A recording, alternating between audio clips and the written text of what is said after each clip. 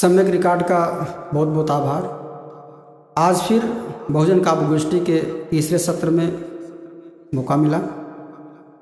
एक रचना जो समाज को मद्देनज़र रखते हुए लिखी गई। आज समाज में देखा जा रहा है, बात हमारे स्तर पर, बेटी पढ़ाओ, बेटी बचाओ, समतामूलक समाज या बेटी बेटा में समानता की बातें, चर्चाएँ करते हैं। लेकिन कहीं ना कहीं वो अवसर लड़कियों को नहीं मिल पा रहा है, जिसके जिम्मेदार हम आप समाज के लोग हैं।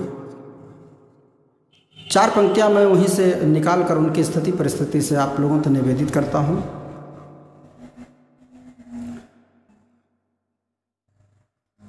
लाख बंदिश में जकड़ी सब लड़कियाँ। लाखों बंदिश में जकड़ी हैं सब लड़कियाँ।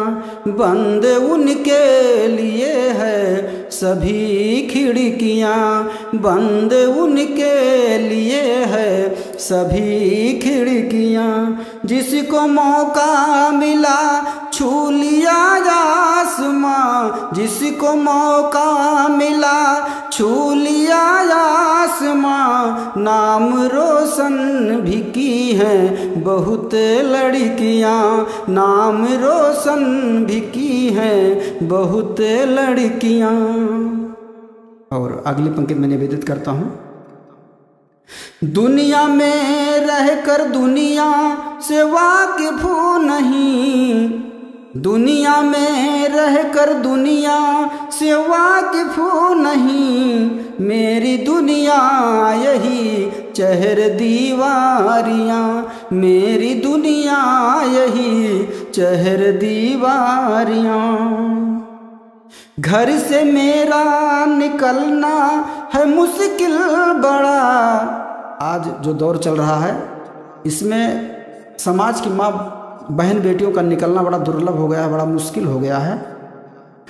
घर से मेरा निकलना है मुश्किल बड़ा, है पाँव जकड़े हुए मजहबी बेड़ियाँ, है पाँव जकड़े हुए मजहबी बेड़ियाँ। आज के दौर में है बापू सहमा हुआ, आज के दौर में है बापू सहमा जिसम को नोचते हैं यहाँ भेड़िया, जिसम को नोचते हैं यहाँ भेड़िया।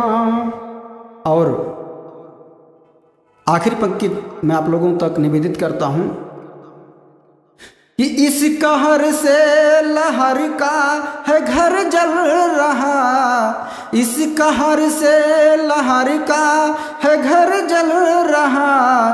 कोई सुनता नहीं है मेरी सिसकियाँ। कोई सुनता नहीं है मेरी सिसकियाँ। लाखों बंदिश में जकड़ी है सब लड़कियाँ, लाखों बंदिश में जकड़ी है सब लड़कियाँ, बंद उनके लिए है सभी खिड़कियाँ, बंद उनके लिए है सभी खिड़कियाँ।